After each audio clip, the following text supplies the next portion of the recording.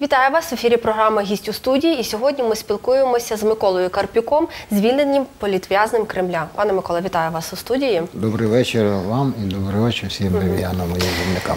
Розпочнемо наш ефір з такої е, не зовсім хорошої, так нехороших спогадів, я б сказала, ваших е, про російську в'язницю. Що власне найважче було за ті е, три роки, коли ви сиділи там?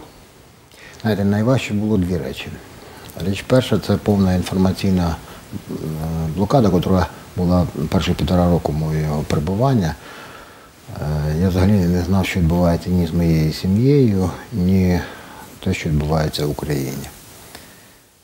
Але найскладніше психологічно, найскладніше, найтяжче це було е, Володимир, е, у Владикавказі на СІЗО 1, коли кожного вечора там виводили людей, людину на тортури. Скрегіт скотчу, коли людині накладають целефановий кульок, скогіт кречу, з котрим обмотують, бо звукової ізоляції там не було між камерами е, ІВС цей невеличкий, 10 камер. І ось на перший поверх виводять людину, зав'язують, я знаю, що це везуть на тортури, що його будуть катувати електричним струмом. А потім цю людину через півтори години десь приблизно привозили, його розміщали в сусідній камері, прив'язували наручниками до металевого ліжка, ставили на коліна і кричали через кожних там 15-20 хвилин не спать, не спать, не спать, заходили, вовтузили там його. І от коли людина вже просто просить, зі сльозами на очах, це було неодноразово, просить, я вас прошу, позовите следователя, я підпишу вам що угодно, тільки дайте мені поспати. Ось це було настяще. Жах якийсь. Е, Чи сподівалися, чи сподівалися ви на той час взагалі, що ви вийдете з тієї в'язниці? Ні. Я отримав срок 22,5 роки. Ну, по-перше, я навіть не ставив такого питання про те, що Україна чимось мені зобов'язана, щось повинна робити в моєму напрямку. Там же в тюрмі, там у Владикавказі, я узнав про те, що розпочалася війна на Донбасі. От, і всі мої молитви мене були зв'язані з тим, щоб Україна отримала перемогу. А те, що вдасться мене визволити, те, що я повернусь в Україну, я вже на це не сподівався. Я готувався до переходу в кращий світ. Ну е, вам е, хотіли дати 22,5 роки, так? Якщо я Дали. не пам'ятаю, дали вірніше дали так 22,5 роки. Е, Що е, ну тобто за які такі, як то кажуть, заслуги на їхню думку вам дали такий величезний Заслуга термін? одна. Заслуга одна те, що я є українець. І те, що українці сьогодні е, їдуть, намагаються їхати в Росію там на заробітки, ведуться на різні проекти е, спецслужб Росії з тим, що там їх використовують, а потім е, ув'язнюють і оголошують строки, це катастрофа для українців. Українцям треба усвідомити. Те, що ти народився українцем і є українцем за відчуттям, це вже кримінальний злочин в Росії. Ви згадували про те, що ваш арешт був добре спланованою операцією. Так.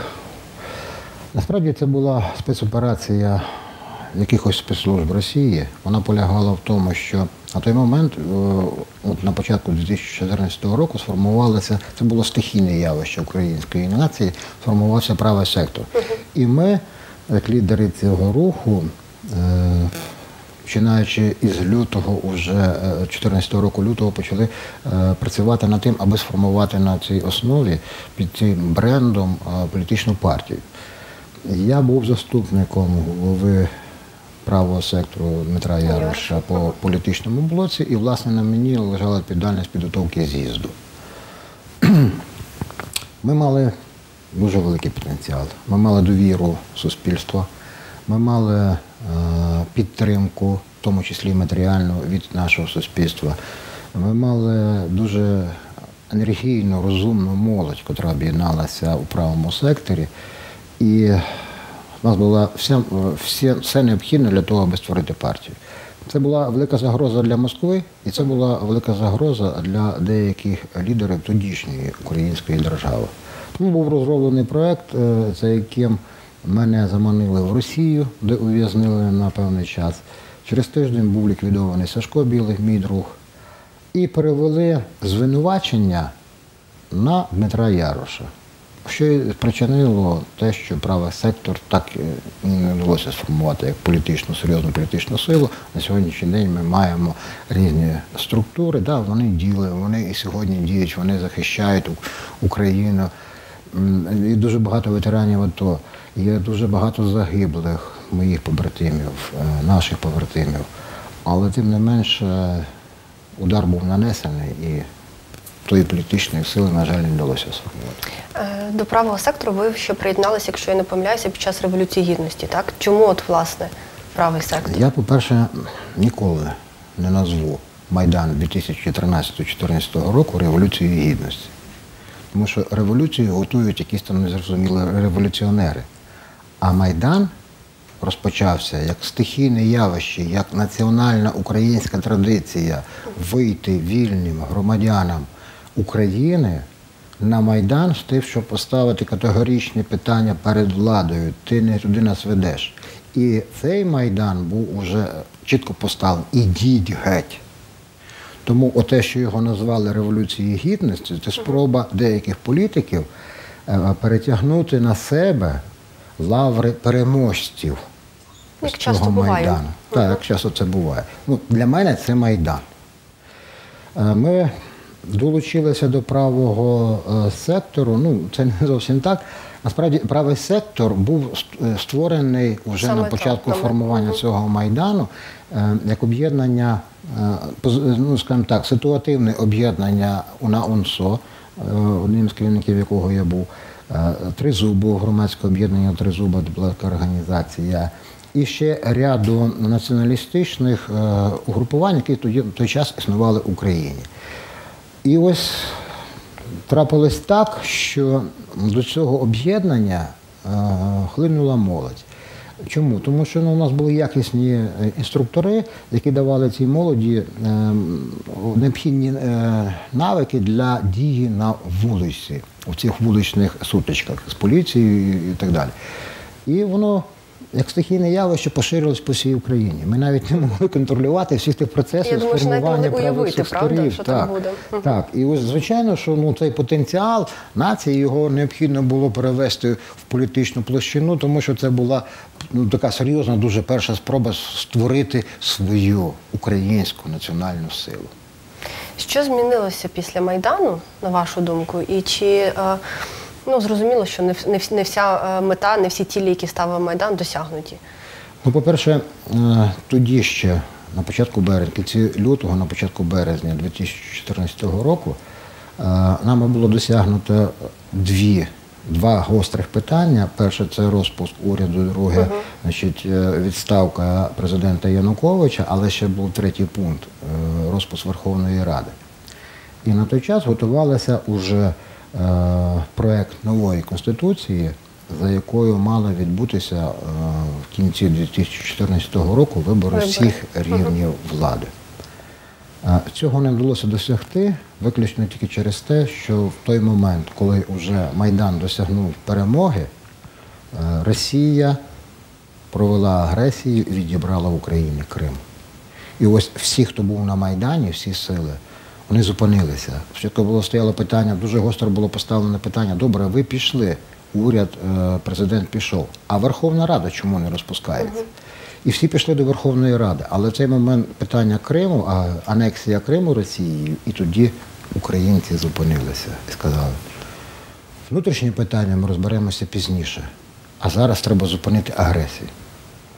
От тому і не досягли цих цих речей. Але якщо мені говорять, що а нас було дуже багато майданів. По-перше, майдан помаранчевий Помаранчевий. 2004 року.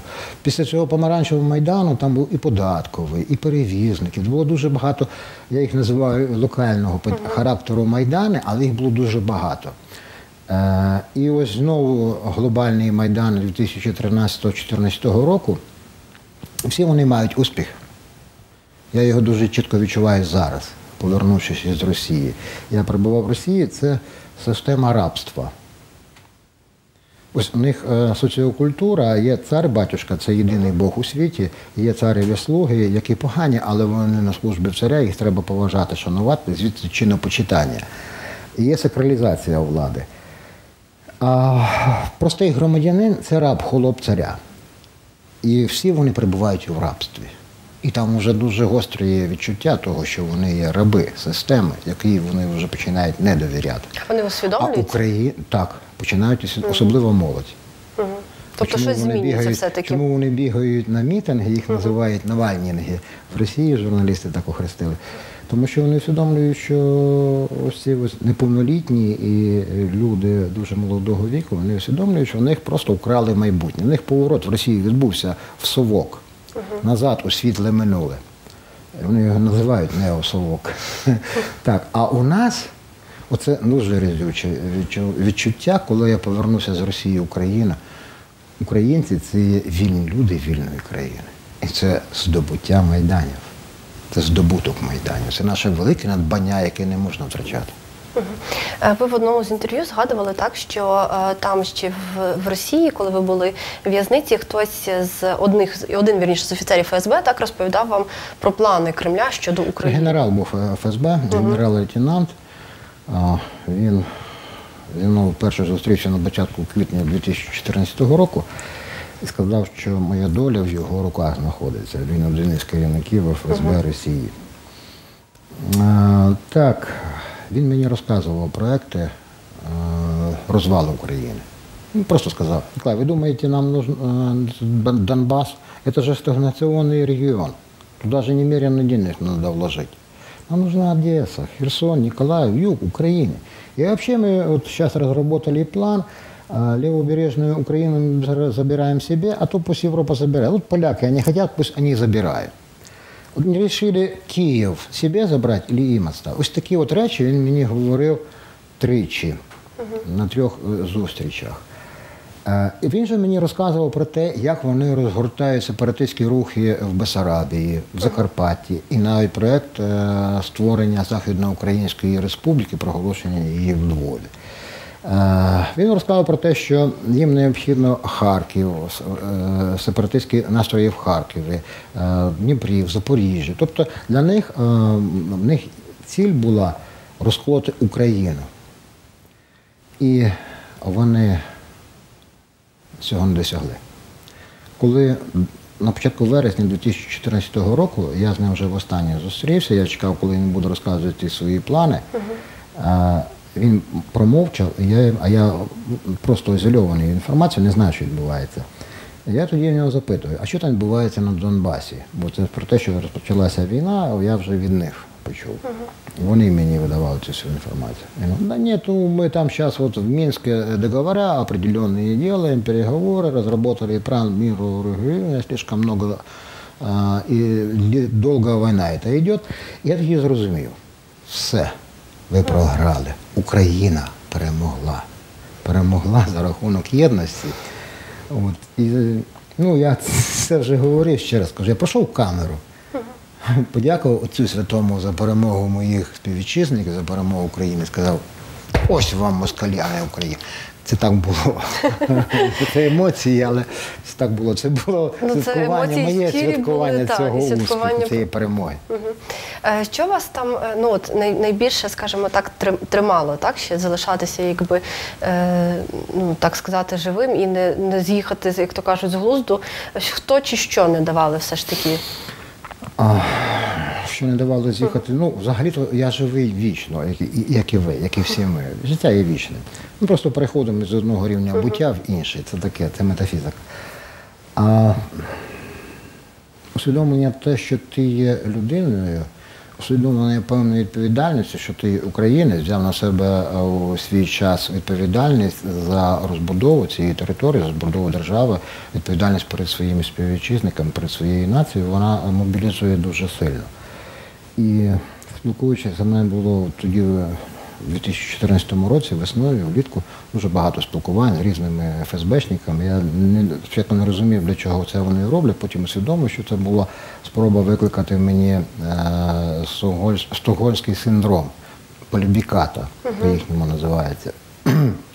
І а, на мене йшов поток брехні, при тому я розумів, що це брехня, але вони це видавали як е, ну, найостаннішу істину, найбільшу істину. І я приходив в камеру, робив для себе медитацію, молитву медитацію. Хвилин 15-20 я собі говорив, ні, панове брехуни, я не ваш. Я Отця Святого. Я і мій отець єдині, мені панують любов і мудрість, добро і правда, воля і свобода. І я створював свій якийсь світ і в ньому перебував. Ну, бо насправді е, три роки чути одне і те саме і не бути повністю ізольованим від всієї інформації, можна вже задуматися, що це справді е, та правда, яку тобі півтора. говорять. Півтора. Бо потім е, в вересні 2015 року, коли вже мене перевезли з Челябинська е, в Грозний, е, там вже до Там мене був був. доступ адвокатів, там вже був доступ е, консулів з того моменту розпочався. Я вже почав отримувати інформацію. І що саме найпотужніше було, е, розумієте, я приїхав в Грозний е, 12 вересня. І е, мене зустріли, звичайно, і Станіслава Клихами, е, проходили по одній справі. Е, Нас зустріли з повагою. Чому? Тому що, незважаючи на те, що я говорив, що я не приймав участі в чеченській війні, але в їхньому розумінні я і Станіслав, ми ті, хто воювали за їхню землю. Да, вони не виділи України, вони зневажали Україну і українців. Але до нас ставились повага. Ось коли 15 вересня на перше судове засідання приїхав, я називаю це український десант. Приїхали група правозахисників, журналісти українські, наші консули, наші адвокати. І то підтримка, яку вони нам дали, а це ж Грозний, е, це треба ще розуміти Росію. Е, Грозний, Чечня в Росії це сама загрожена територія, туди всі бояться їхати. А тут вони без страху приїхали, ось вони вільні. І причому вони, вони там нічого такого так архіважливого не робили, а просто показали, ми є вільні люди, Що вільної країни. І на моїх очах. Ось ті чеченці, які мене охороняли, тобто служби ФСІН, і е, ті, які були ув'язнені, ось просто вони протягом якогось місяця-півтора абсолютно змінили е, своє ставлення до країни. Вони почали нас поважати, вони нам заздрили. Ну це дорого дорогого коштує, якщо чесно. Ну, я не знаю, Ну, насправді, який буде наслідок цього всього, але і це не я зробив. Ви зрозумієте, це робили ось ті українці, які туди приїжджали. Я їх шаную, я їх, ну я їх неймовірно люблю. Е, Про сьогоднішню нову владу і нового президента. Що ваша думка? В? Україні відбувається дуже цікавий процес, але і той час і складний. Йде зміна поколінь в політиці і владі. На зміну моєму поколінню і е, людям старшим, які е, протягом 20-30 років е, керували цією ситуацією, державою, політикою всієї в Україні, приходить молоде покоління е, 80-х, 90-х років. Це було чітко означено не стільки виборами президента, скільки е, виборами Верховної Ради. Ви подивіться, які зараз у нас депутати. І, звичайно, тут існує, окрім конфлікту політичного, політичного протистояння, політичної боротьби різних політичних сил, тут ще існує конфлікт батьків і дітей. Ось е, молодь, котра зараз приходить в політику, вони в політику, вони е, трошки іншого мислення, вони трошки іншого світоглядного Бачення. ніж я і мої ровесники. На цьому ґрунті базується конфлікт, але я радий, що це відбувається. Чому? Тому що я бачу цю молодь, ось там, яка вона представлена в політиці, це самодостатні люди. І саме головне, вони народилися, вони жили в умовах волі, вони бачили е, на якихось етапах ці ті шляхи здобуття цієї волі, і вони є вільні люди вільної країни. І наостанок, нас час вже закінчився, але коротко. Що плануєте робити далі? Я зараз працюю над створенням центру розвитку України. Це е, структура, яка буде займатися розробкою цілісної програми стратегії розвитку України, е, вивченням всіх е, ситуацій у всіх аспектах е, життя національного і державного нашого буття і розробкою програм по розвитку. І третє це виховання, формування виховання нового нової політичної еліти. Успіху вам у цьому Дякую. і дякую за ефір. Нашим глядачам нагадаю, що ми спілкувалися з Миколою Карпіком, звільненим політв'язем Кремля. Це була програма «Гість у студії. Для вас працювала я, Зоряна Жильчук. Залишайтесь разом з нами на телеканалі Сфера.